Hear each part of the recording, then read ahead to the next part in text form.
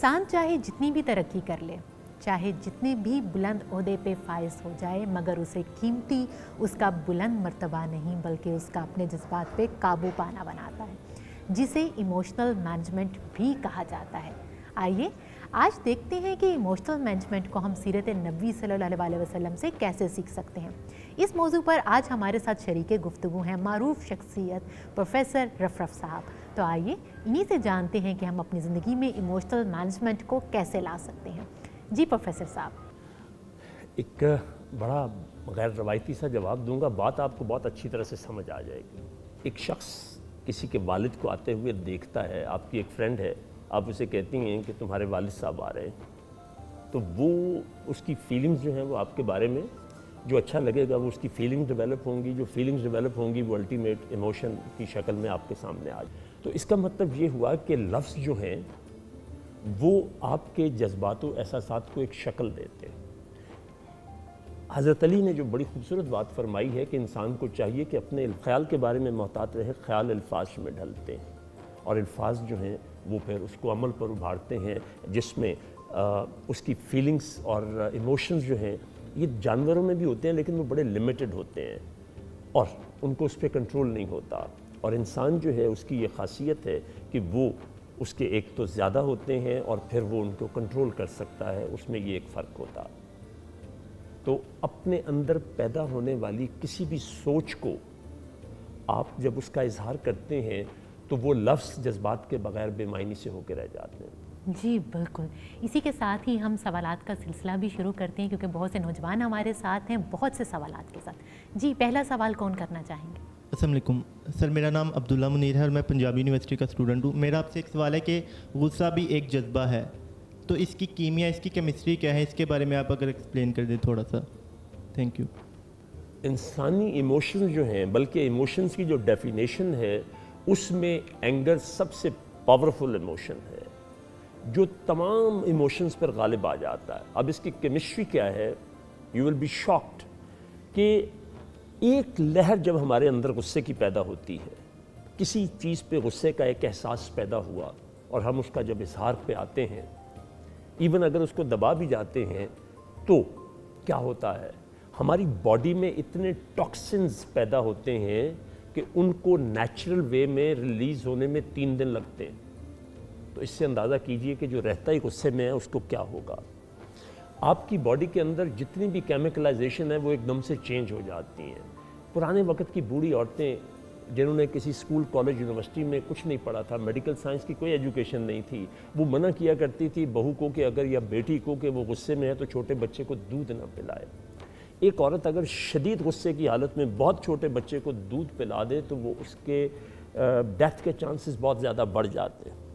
तो ये आपकी पूरी बॉडी की केमिस्ट्री जो है उसको चेंज कर देता है। मुख्तलिफ़ किस्म के केमिकल्स की प्रोडक्शन ज़्यादा हो जाती है, कुछ की कम हो जाती है तो आपका बैलेंस आउट हो जाता है। और उसमें सबसे बड़ा नुकसान जो होता है कि वो आपकी बॉडी में ऑक्सीजन जो है वो ये एकदम से कम कर देता इस्लाम ने गुस्से को आग कहा है ना? तो ये वाकई आग है। जी तो अगला सवाल कौन करना चाहेंगे? सर मेरा नाम तारिब रिफत है और मैं पंजाब यूनिवर्सिटी से हूँ। Sir I really wanna ask एक टर्म का हमने सुना हुआ है which is known as E I but उसकी, अगर आप उसको थोड़ा डिस्क्राइब कर देंगे it would be very nice E I emotional it stand for emotional intelligence ये ई e क्यू और आई क्यू का मोस्ट लेटेस्ट वर्जन है, जिसको डॉक्टर डैनियल गोल्डमैन ने 1918 में एक एक्सपीरियंस किया। और ये इस्लाम के कॉन्सेप्ट सब्र यानी उसने 20 साल लगाए 1980 में उसने तजुर्बा शुरू किया। सन 2000 तक 20 साल तक मुसलसल रहा। बल्कि मैं चाहूँगा कि इसकी थोड़ी सी वजाहत कर दूँ। बहुत ही अहम चीज़ है इमोशनल इंटेलिजेंस इमोशनल मैनेजमेंट के हवाले से। उसने छः साल एवरेज उम्र के बच्चों को लिया। उनको उसने दो दो मैश मैलोज दी और कहा कि जो बच्चे इसको दो घंटे तक नहीं खाएँगे, उनको चार और मिलेंगी। और जो नहीं, जो खाना चाहें वो खा सकते हैं। चॉइस इज़ देयर वो दे के टीचर्स और डॉक्टर साहब बाहर चले गए, अंदर कैमरे लगा दिए गए। तो उन बच्चों को स्टडी किया गया। कुछ बच्चों ने इमीडिएटली खा ली, कुछ ने कुछ देर के बाद खाई और कुछ ने वो संभाले रखी और उन्होंने वो दो घंटे गुजरने के बाद जब अंदर आए तो खाई। बड़ी छोटी सी एक्टिविटी थी, उनको बाकी दो दो और दे दी गई। 20 साल तक वो उन बच्चों को मुसलसल स्टडी करता रहा। 20 साल के बाद हर बच्चा एवरेजली 26 साल का हो गया, शादियाँ हो गई, अपने जॉब्स में बिज़नेस में सेटल हो गए। जिन बच्चों ने मैश मैलो इमीडिएटली खा ली थी, उनकी नस्बत वो बच्चे जिन्होंने आखिर तक नहीं खाई थी, वो इंतहाई कामयाब थे एक्सट्रीम पे थे दोनों। तो इट मीन कि जिनका सेल्फ कंट्रोल था, उन्होंने अपने आप को रोक लिया। उसके ऊपर फिर 2000 में डॉक्टर डैनियल गोल्डमैन ने इमोशनल इंटेलिजेंस का इलम दुनिया को दिया। आज वो जितनी ब्यूरोक्रेसी है और टॉप के लोग हैं, उनको ये चीज़ दुनिया भर में कराई जाती है। पाकिस्तान में भी अब इस पर कोर्सेज होने लगे हैं। इस्लाम की शान देखिए। इस्लाम की शान देखिए कि इस्लाम ने पूरी की पूरी इमोशनल मैनेजमेंट आई ई आई की, वो एक लफ्ज़ में उससे ज़्यादा अच्छी बयान की है। सिर्फ़ एक लफ्ज़ ने उससे बहुत ज़्यादा अच्छी बयान की है। वो पूरी तफसील का तो वक्त नहीं है। उसमें मेरी यूट्यूब पे दो वीडियोस हैं, वो आप देख लीजिएगा। सब्र, जो हम सबको पता है। लेकिन हम उसका जो मतलब लेते हैं, वो उर्दू और पंजाबी और फ़ारसी वाला लेते हैं। हमारी ज़ुबान में सब्र का मतलब है बेबसी, के पुत्र सब्र कर। इससे अल्लाह पूछेगा, आखिर अल्लाह भी तो है ना? अरबी में सब्र का मतलब ये बिल्कुल नहीं है। अरबी में साबुरा उस पत्थर को कहते हैं कि जो कश्ती में रखा जाता था, जब तूफ़ान आता, यानी बैलेंस आउट होता तोज़ुन ना रहता तो उसकी पोजीशन चेंज की जाती थी। तो उससे बैलेंस आ जाता था। उसको साबुरा कहते थे। उसी से ये लफ्ज़ सब्र बना है। अरबी में सब्र का मतलब है रोक लेना खुद को, या रुक जाना किसी ऐसे काम से जो करने की आप कुदरत रखते हैं। आप एक काम कर सकते हैं आपसे मैं बदला ले सकता हूँ, नहीं लेता, ये सब्र है। मैं आपका कर ही कुछ नहीं सकता। तो ये सब्र नहीं है, ये बेबसी है।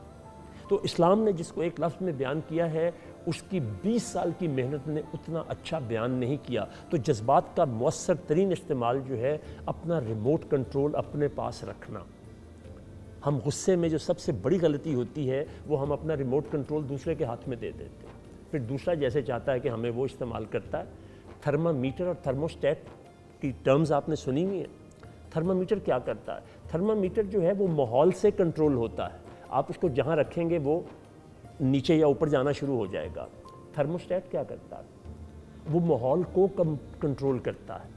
कि आप उसकी मदद से अगर एसी का है तो कम कर दें या ज़्यादा कर दें, आपके कंट्रोल में होता है। तो इसलिए बर करम थर्मोस्टेट बने, थर्मामीटर ना बने, वरना आप बिल्कुल ही मीटर हो जाते हैं। बिल्कुल, दोस्त। जी अगला सवाल कौन करना चाहेंगे? मेरा नाम निमरा है और मैं पंजाब यूनिवर्सिटी से हूँ। मेरा एक सादा सा सवाल है जिस तरह अभी आपने पहले बताया था कि जो गुस्सा करने वाला शख्स होता है उसके अंदर एक टॉक्सिस हो जाते हैं केमिकल तो जो उसके ऑपोजिट शख्स होता है जो गुस्सा नहीं कर रहा होता तो क्या उस पर अफेक्ट होते हैं उन टॉक्सिस का? या सिर्फ़ उस पर अफेक्ट हो रहे होते हैं जो गुस्सा करता है? ये डिपेंड करता है कि सिचुएशन क्या है। देखिए, दफ्तरों में मैं जो ऑफिसर्स को मैनेजमेंट सिखाता हूँ, जब आप ऑफिसर्स अपने सबॉर्डिनेट पे गुस्सा कर रहे होते हैं तो बीट पीप किसका शूट कर रहा होता है? उसका अपना कर रहा होता है। नर्वस सिस्टम किसका ख़राब हो रहा होता है? उसका अपना हो रहा होता है। वो तो over the period of time दो चार दफ़ा सुन के आदि हो जाता है।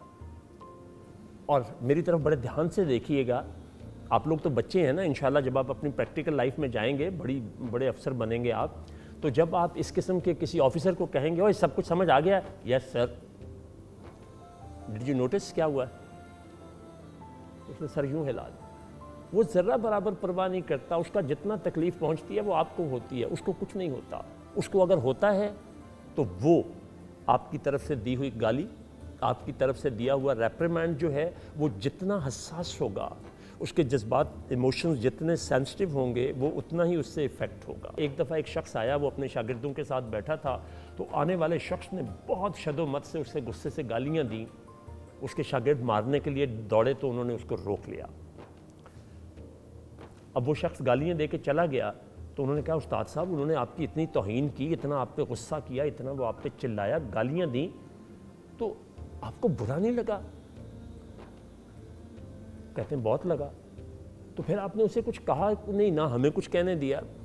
तो कहने लगे, एक बात तो बताओ, अगर कोई शख्स आपको कोई चीज़ दे, अगर आप ले लें तो वो तो आपकी हो गई, अगर आप ना लें तो वो वापस किसके पास जाती है?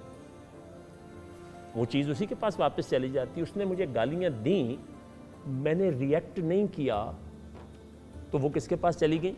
आप देखिए कि जब आप गुस्सा करते हैं तो आप नॉर्मल स्टेट में नहीं रहते हैं। आपकी बॉडी में ऑक्सीजन कम होती, मुँह से थूके उड़ने लगती, आँखें लाल होने लगती हैं, जो ब्लड की सर्कुलेशन है, वो मैदे की तरफ़ जाने लगती है तो आपसे सही डिसीज़न नहीं होता। तो वो नुकसान तो आपको हो रहा है, उसको तो कोई नहीं हो रहा। तो इसलिए हमेशा इसी में आप, मैं ऐड कर देता हूँ कि जब भी कोई आपको ऑड और आपके जज्बात को ठेस लगे और आपके इमोशंस जो हैं वो हर्ट हों तो जब आपके साथ ऐसी सिचुएशन आए तो हमेशा रिएक्ट ना करें रिस्पॉन्ड टू द सिचुएशन करें यही ईआई का क्रक्स है। वेरी राइट सर यहाँ मैं एक सवाल करना चाहूँगी। कहते हैं जब दिल का मौसम अच्छा हो तो सारे मौसम अच्छे लगते हैं। तो बात तो आ गई जज्बात की। ऐसा क्या किया जाए कि थ्रू आउट हमारा जो दिल का मौसम है वो अच्छा रहे? अपनी ख्वाहिशात और तमन्नाओं को जितना मुख्तर रखेंगे, आप मुयसर को जितना मुअसर कर लेंगे, जितना जो आपको हासिल है, उसके ऊपर अगर आप खुश हो जाएँगे, उसमें खुश रहना सीख लेंगे तो आपके दिल का मौसम हमेशा अच्छा रहेगा। आपको रिग्रेट नहीं आएगा। मैं उसकी ज़ाती मिसाल हूँ। मैं उम्र के इस हिस्से में भी कोई रिग्रेट नहीं है मुझे। मेरे दिल का मौसम बहुत अच्छा है। सुबह शाम किसी वक्त भी अगर कोई थोड़ी बहुत हल्की सी गर्म हवा आती है तो अगले दिन में इतना खूबसूरत झोंका आता है कि वो मुझे पहले से ज़्यादा पुरसकून कर देता है। तो अपनी सलाहितों पर एतबार करें, अपनी नीयत को अच्छा रखें और सचमुच आपको एक बहुत बड़ी बात बताऊँ, ये मैंने अपने आप पे प्रैक्टिकल करके देखा है। आप दूसरों के बारे में सिर्फ़ अच्छा सोचना शुरू कर दें। आपका दिल का मौसम अच्छा नहीं, एग्जाम्पलरी हो जाएगा, इंतहाई अच्छा हो जाएगा। और फिर कभी उस पर ख़ज़ा नहीं आएगी। क्यों? इसलिए कि वो जो औरों के लिए रखते हैं प्यार का जज्बा वो लोग कभी टूट के बिखरा नहीं करते। वाह। अगला सवाल कौन करना चाहेंगे? सर मेरा नाम सिद्रा अब्बास है और मैं department of gender studies Punjab University की स्टूडेंट हूँ। सर मेरा क्वेश्चन आपसे एकेडमिक पॉइंट ऑफ़ व्यू से है। जैसे कि Covid situation is on going और सारे स्टूडेंट्स घर पे हैं ऑनलाइन क्लासेस ले रहे हैं। जैसे उस्ताद होता है, आपका टीचर वो स्पिरिचुअल हीलर होता है। तो वो अपने टीचर से सीखते हैं आगे एकेडमी में स्कूल में यूनिवर्सिटी कॉलेजेस किसी भी जगह में। तो आप यूथ को क्या मैसेज देंगे कि वो अपनी इमोशनल इंटेलिजेंस को कैसे वो इन्हेंस कर सकते हैं या मेंटेन कर सकते हैं? आपका सवाल जो है, वो गिरद घूमता है कोविड के। कोविड ने इन इट जो एक डिप्रेशन की कैफियत पैदा की है और डिप्रेशन के साथ साथ एंजाइटी भी कर दी है। इस सिचुएशन में हमारे स्टूडेंट्स जो ख़ास तौर पे पाकिस्तान के हैं, वो इस चीज़ के आदि नहीं थे ऑनलाइन के, जो उन्हें सारे का सारा ऑनलाइन आना पड़ गया। वो दोस्तों से मिलना, बैठना, बातें करना टीचर के साथ बॉन्डिंग जो डेवलप हुई होती है, अपनी बात उससे करना, वो चीज़ बिल्कुल नहीं रही तो नो डाउट उसका एक इफ़ेक्ट है। फिर आपका जो सरकम जो सरकमस्टांसिस हैं इन्वायरमेंट है, वो भी किस तरह का होता है? टीचर भी अपने घर में काम कुछ कर रहा है और वो आपके साथ बरह रास्त नहीं है, तस्वीर की बजाय उसकी, वो जो उसका लाइव आने की बजाय तस्वीर आ रही है, आप भी इसी तरह किसी और मसरूफियत में हैं तो वो लर्निंग उतनी बेहतर नहीं होती। तो उससे क्या होता है कि आपका डिप्रेशन और बढ़ता है और एंग्जाइटी जो है कि आने वाले वक्त की सोचें आपको परेशान करती हैं। उससे आपके इमोशंस जो हैं वो डिस्टर्ब होते हैं। उनको ठीक रखने के लिए जो आप कॉन्टीन्यूसली स्ट्रेस का फ़ेज़ बढ़ता चला जाता है उसके लिए अपने आप को, थोड़ा सा आपको रीप्रोग्राम करना होगा। गुस्से को कंट्रोल करना इमोशंस को कंट्रोल करना एंगर मैनेजमेंट में सबसे ज़्यादा ज़रूरी है, क्योंकि एंगर जो है, वो एक नेगेटिव इमोशन है और बुरी तरह से मसाइल लेकर आता है।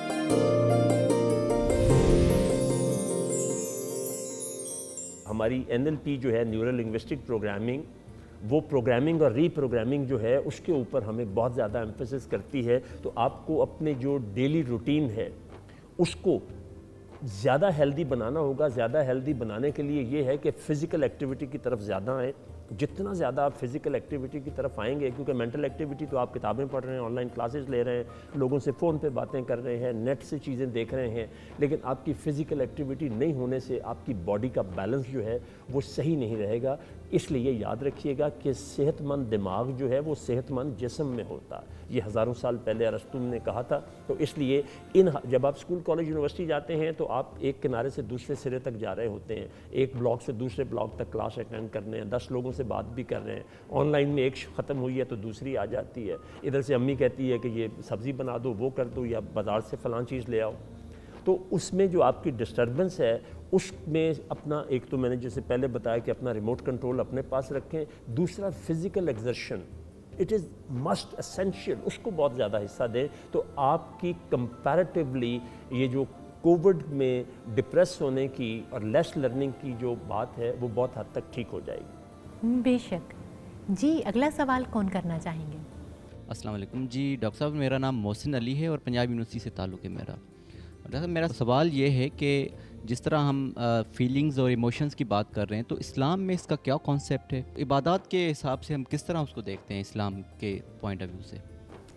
एंगर मैनेजमेंट में साइंस बहुत ज़्यादा तरक्की करके बहुत ज़्यादा तरक्की करके जहाँ जा सकी है वो ये है कि गुस्सा जो है, उसको पी जाना साइकोलॉजी कहती है कि ये ठीक नहीं है। इंसान के ऊपर इसके अच्छे असरात नहीं आते और इस्लाम आपको गुस्से को पीने का हुक्म देता है। अब ये जिन्होंने काजिम का मतलब कजामत, गुस्सा पीने के अमल को कहते हैं अरबी में, अब ये जो तस्वुर दिया है, जिन्होंने तर्जमा इसका पीना किया है, ये तो आप उनसे पूछें कि उन्होंने ऐसा क्यों किया। कजामत जो है, चूँकि अरबी का लफ्ज़ है, काजमीन ना, वल काजमीन, गुस्सा पीने वाले तो इसका मतलब होता है उसको चैनलाइज करें। जो आपके अंदर नेगेटिव और स्ट्रॉन्ग मोशंस डेवलप हुए हैं, उनको आप उस ताकत से अच्छा काम लें। आपको पता है ना, गुस्से में आपकी ताकत, जिसको पंजाबी में कहते हैं, उन्होंने बड़ा चाल चढ़ गया, वो इतना ज़्यादा अपने आप से बाहर हो गया, वो तो किसी के काबू में नहीं आ रहा था, उसको कितने लोगों ने पकड़ा था? तो उसको चैनलाइज करें, उस वक्त वो राइट टाइम होता है कि आप में जो एनर्जी पैदा हुई है नेगेटिव एनर्जी उसको पॉजिटिव कर दे। ये बड़ी दिलचस्प इसकी बैकग्राउंड है कि कजामत जो है, वो एक ख़ास अमल को कहते हैं। अरबों के यहाँ पानी का चूँकि बहुत ज़्यादा प्रॉब्लम होता था तो जब वो कुएँ बनाते तो उन कुओं के नीचे से उसके चैनल्स भी बनाते कि अगर कभी ये ज़्यादा भर के पानी ऊपर आई जाए तो वो ज़ाया होने की बजाय इधर उधर दूसरी जगहों पे चला जाए। ये अमल जब करेंगे तो एक्चुअली इसको काजिम कहते हैं कि ये गुस्सा पीना अरबी में इसको कहते हैं, इसको नहीं कहते कि आपको एक एंगर क्रिएट हुआ है और आप अपने आप में यूँ जबर सबर करके बैठ जाएँगे। तो सबर के मतलब भी हम वही लेते हैं जो हम उर्दू में लेते हैं, जबकि अरबी में इसका मतलब कुछ और है। तो इसलिए गुस्से को कंट्रोल करना इमोशंस को कंट्रोल करना एंगर मैनेजमेंट में सबसे ज़्यादा ज़रूरी है क्योंकि एंगर जो है, वो एक नेगेटिव इमोशन है और बुरी तरह से मसाइल लेकर आता है। मैं पाकिस्तान की प्रिजेंस एकेडमी एक ही है। जिसमें ये एस पी और इंस्पेक्टर्स को तैयारी करवाई जाती है। मैं जब यहाँ पहली दफ़ा ट्रेनिंग के लिए गया तो मैंने उनसे इस ख्वाहिश का इजहार किया कि मैं आ, कैदियों से मिलना चाहता हूँ। ख़ास तौर पे वो कैदी जो कत्ल और लड़ाई झगड़ों के केस में आए हुए हैं। उनमें से अक्सरियत ने जो कुछ बताया उसका ख़ुलासा ये है कि फ़लाँ ने जी मुझे गाली दी थी तो बस मुझसे कंट्रोल नहीं हुआ मैं गुस्से में आ गया और मैं ये कर बैठा। आज यहाँ कितनी गालियाँ बर्दाश्त करनी पड़ती हैं? काश उस वक्त मैं अपने आप को रोक लेता। तो इसलिए ये इस्लाम ने गुस्सा जो पीने का हुक्म दिया अभी मैंने थोड़ी देर पहले किसी सवाल के जवाब में बता रहा था कि रिएक्ट ना करें रिस्पॉन्ड करें। जब आप रिस्पॉन्ड करते हैं तो वो प्रोएक्टिव अप्रोच होती है वो आपको नुकसान से बचा लेती है। बेशक। जी अगला सवाल कौन करना चाहेंगे? मेरा नाम नाजिम ख़ान है। मेरा क्वेश्चन ये है कि मोहब्बत भी एक एहसास है। इसको हम किस तरह एक्सप्रेस कर सकते हैं और हमारे माशरे में इसको नेगेटिव लिया जाता है अक्सर? तो इसके बारे में आप क्या कहेंगे? Anger most negative harmful emotion है। इसी तरह लव जो है, वो मोस्ट पॉजिटिव इमोशन है। अब इसकी मैनेजमेंट कैसे करनी है? देखें, जैसे ही लव का कॉन्सेप्ट आता है तो हमारे यहाँ वो बहुत ज़्यादा नैरो होकर चला जाता है। एक औरत और मर्द, एक लड़की और लड़के के दरमियान जो ताल्लुक़ है, उसको मोहब्बत कहा जाता है। मोहब्बत जो है इमोशन की ज़ुबान में देखें तो ये बड़ी वसी टर्म है। अल्लाह कहता है, मैं मोहब्बत हूँ। और मोहब्बत का जज्बा अगर इंसान की ज़िंदगी से निकल जाए तो हमारे तमाम रिश्ते तबाह हो जाएँ, रह नहीं सकते। लेकिन जब हम इसको नैरो करके वहाँ लाते हैं तो फिर वो सोसाइटी जो है, वो उसको किसी और तरह से देखती है। बतौर जज्बा, ये बेहतरीन जज्बा है, ये ना हो तो इंसान ज़िंदा ही नहीं रह सकता। लेकिन उसको जब हम बहुत नैरो करके औरत और मर्द के दरमियान और बदकिस्मती से, वो भी जायज़ नहीं, नाजायज़ ताल्लुक ज़्यादा होता। है और फिर उसके बाद जो उसके नतज आते हैं, वो भी ख़राब हैं। जैसे वो जी लव मैरिजेज़ उसने की थी, इसलिए उसकी ज़िंदगी ख़राब हो गई। तो वो बड़ी दिलचस्प दास्तान है। वो भी चूँकि मेरा सब्जेक्ट है, आगे रिलेशनशिप मैनेजमेंट में मैं उसका ज़िक्र ज़रा तफसील से करूँगा। तो ये एक ऐसा इमोशन है जो इंसान की बुनियादी तरीन ज़रूरतों में से है। मोहब्बत का जज्बा जिस इंसान को नहीं मिलता, उसकी ज़िंदगी में से बैलेंस आउट हो जाता है ख़त्म हो जाता है। देखें, गाड़ी जितनी मर्ज़ी अच्छी हो, अगर उसके पहिए अलाइनमेंट में ना हो बैलेंस ठीक ना हो तो आप उसकी राइड को एंजॉय नहीं कर सकते। इसी तरह ज़िंदगी की गाड़ी जो है इसमें अगर मोहब्बत का इमोशन जज्बा निकल जाए तो फिर आपकी ज़िंदगी जो है वो आसान नहीं बहुत मुश्किल हो जाती है। बेशक। जी अगला सवाल कौन करना चाहेंगे? मेरा नाम मोमिन है और मैं पंजाब यूनिवर्सिटी से पढ़ रही हूँ। मेरा आपसे ये सवाल है कि how do we recover from failure हम लोग हार से कैसे बाहर निकल सकते हैं या हम हार से कैसे सीख सकते हैं? आपको जो चीज़ सबसे पहले बाहर निकालती है, वो आपका अपना आप है। हमारी नाकामियों के पीछे बहुत बड़ी वजह हम खुद होते हैं। मेरा शुमार भी तो मेरे दुश्मनों में है। मैं खुद भी हूँ, अपने आप के पीछे पड़ा हुआ। तो हम अपनी नाकामी की एक बड़ी वजह पता क्यों होते हैं? हम इंटरव्यू देने जा रहे हैं, हम पेपर देने जा रहे हैं, हम किसी से कोई ख़ास मुलाकात के लिए जा रहे हैं पता नहीं क्या बनेगा, वो पता नहीं क्या पूछ लेंगे। तैयारी तो मेरी ठीक नहीं है। और अगर नौकरी के लिए जा रहे हैं तो सिफारिश पे उन्होंने पहले ही रख लिए होंगे। ये तो ऐसी एक फॉर्मेलिटी है। जब आप इन सोचों के साथ जाते हैं तो फिर याद रखें, ये कैसे मुमकिन है? वो जो मैंने एनएलपी की आपसे पहले भी बात की थी कि हमारे ब्रेन में एक्चुअली न्यूरो पाथवेज बनते हैं। जो कुछ हम सोचते हैं, हमारे साथ वही होने लगता है। थॉट बिकम्स थिंग्स तो ये फेलियर जो है ये आप सबसे पहले और सबसे आखिरी जिम्मेदार आप खुद होंगे, क्योंकि याद रखें कि किसी काम में जब हम खुद अपने आप को, खुद अपने आप को ज़िम्मेदार ठहराते हैं ना किसी गलती का तो फिर उसका इलाज भी आसान हो जाता है और हम वाकई इलाज करते हैं। लेकिन जहाँ हम अपने फेलियर का ज़िम्मेदार किसी दूसरे को ठहराते हैं तो फिर तो हम अपनी सारी गलतियाँ उसके सर डाल देते हैं, फिर हम अपनी असलाह नहीं करते। परवीन शाकिर को लोग सिर्फ़ एक शायरा के तौर पे जानते हैं। वो बहुत अच्छी फिज़िक्स की एक्सपर्ट थी साइकोलॉजी की थी बायोलॉजी की थी, उसकी शायरी को कभी मेरी नज़र से पढ़ें। एक बड़ा उसका मशहूर शेर है, मैंने इस शिद्दत से तुझे पाने की ख्वाहिश की है, कायनात के हर जर्रे ने मुझे तुझसे मिलाने की साजिश की है। जिसने फ़िज़िक्स एडवांस लेवल पे पढ़ी है, और उसने उसमें तखसस किया है स्पेशलाइजेशन की है एनर्जी के कॉन्सेप्ट में। उसको परवीन शाकिर समझ आएगी कि जब हम अपनी सोच में बड़ी शिद्दत पैदा कर लेते हैं कि मुझे हर हाल में ये करना ही करना है, इसके अलावा कोई दूसरा वे ही नहीं है तो पूरी की पूरी कायनात आपके उस अमल में आपकी मददगार बन जाती है। उसकी एक छोटी सी आपको मैं मिसाल देता हूँ। हम कभी कहते हैं ना कि हम यार अभी आपको याद ही कर रहे थे। मैंने अभी आपके बारे में सोचा ही था कि तुम आ गए। वो अभी नहीं सोचा होता। वो आपके न्यूरोपाथ वेज में पता नहीं कब से ट्रेवल कर रहा होता है, वहाँ जाके वो आपका और मैच कर जाता है उससे। जैसे आप एक अंधेरे कमरे में हैं और आप हाथ दीवारों पे मार रहे हैं अचानक स्विच पे हाथ लग के वो जल जाता है। तो अपनी सोच को जब मस्बत बना लेंगे तो फिर कामयाबी आपका, हर नाकामी कामयाबी की बेहतरीन सीढ़ी आपके लिए बनेगी। मेरी ज़िंदगी में जितनी आसानियाँ, कामयाबियाँ हैं I am the most blessed person on the earth वो किसी ना किसी नाकामी के बाद आई हैं। मैंने नाकामी को एक्सेप्ट नहीं किया, मैंने उसको एक चैलेंज के तौर पे लिया। और जैसे ही मैंने उसको चैलेंज के तौर पे लिया, मेरे अंदर नई एनर्जी पैदा हो गई और वो उस पर मैंने शुक्र किया कि अगर मेरे साथ ये ना होता तो मैं ये ना कर पाता। बहुत शुक्रिया, प्रोफेसर साहब, आपका इसी के साथ ही हमारे प्रोग्राम का वक्त ख़त्म हुआ चाहता है।